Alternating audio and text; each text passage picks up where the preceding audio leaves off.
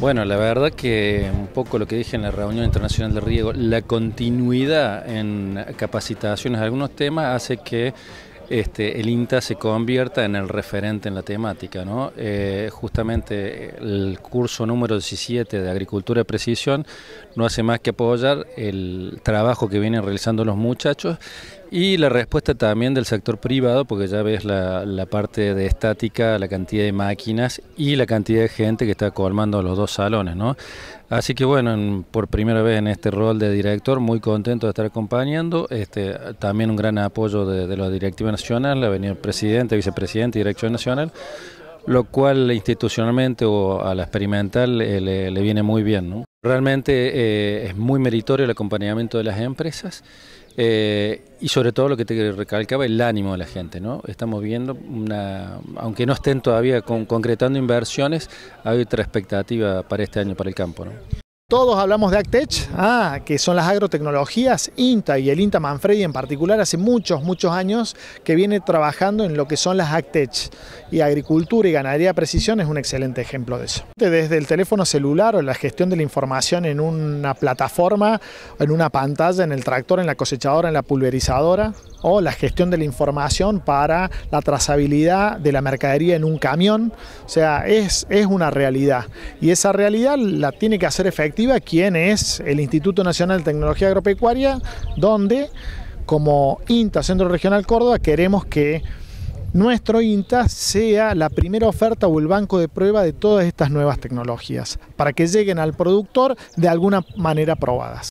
No hay otra, y esta es una perfecta demostración. Hoy más de 51 empresas de servicios de tecnología y proveedores están diciendo que sí al INTA en una jornada pública-privada, en donde estamos trabajando codo a codo para que las cosas sucedan. Hay algunos que podrán vender soja para seguir con dólares comprando tecnología, lo que sí, como mensaje diría que la tecnología cada vez va a ser más barata.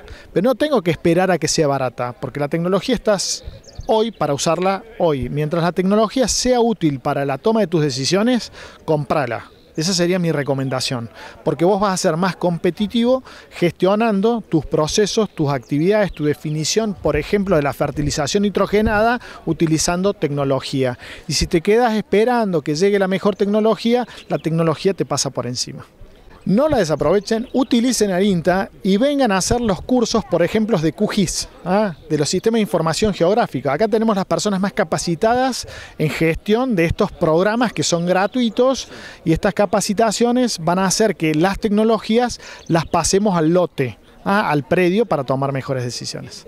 Sí, yo insisto que la ganadería de precisión es más un anhelo que una realidad, como también lo es en la agricultura de precisión. O sea, uno tiende a pensar que toda la, agricultura está hecha con altísima precisión, en realidad eso tiene mucha variabilidad. Ahora tenemos en el medio y en el mundo ciertas tecnologías que ya nos permiten hablar de una ganadería que pueda hacer uso de, sistemas este, informáticos, de herramientas de robotización o de automatización que antes eran imposibles.